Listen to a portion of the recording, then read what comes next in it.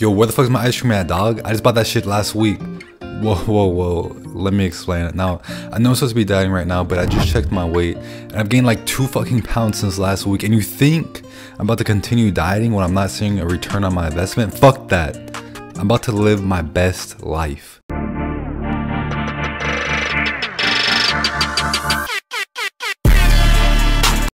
I used to be so frustrated when I was on the grind for an entire week, missing not even a single workout, tracking my calories down to a single grain of rice, only to see that I'd gained weight at the end of the week. It was bullshit. Like, this is how I'm rewarded after putting in so much time and effort. I felt like I had just put in a 40 hour work week just for my employer to be like, oh, sorry, Naija, uh, we lost your check and there's nothing we can do about it. Like, no, fuck that. I'm an extreme person. I tend to have an extreme mindset. And so if I'm not seeing results from what I'm doing right now, I'll be like, fuck it, I'll drop my calories by a thousand. Or fuck it, I'll stop eating altogether just to force my body to give me the results that I fucking want. But by being so extreme, not only would I lose a ton of muscle mass in the process, but I would also slow my metabolism way the fuck down so that when I went back to eating a normal amount of food, I would actually start gaining weight. So how is it that I could better navigate this weight loss plateau and prevent myself from blowing up all my progress along the way? By weighing yourself every single day. You see, some people think it's a pain in the ass to have to get up and measure themselves on the scale every single day.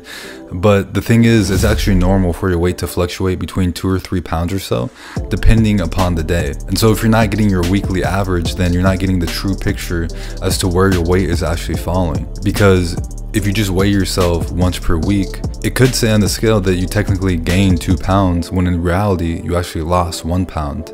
It's just that yesterday you ate a whole bunch of salt and drank a whole bunch of water and so now when you go to weigh yourself, you're storing a bunch of water weight when in reality you actually lost more weight than it says. And so that is to say that the scale is only as accurate as you make it. And on top of this, most people go way too hard on their calorie deficits, when in reality, you actually want to be eating as much food as possible. This way, not only is the diet far easier to stick to, but you also be far more likely to actually hit your goals since you're not starving all the time. But what if you do actually hit that dreaded plateau? Trust me when I say that when it comes to dieting, slow and steady wins the race every single time.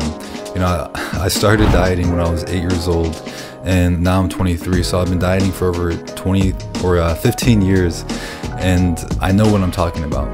I've been doing this, alright? So a plateau is just when your weight doesn't budge for two weeks or more.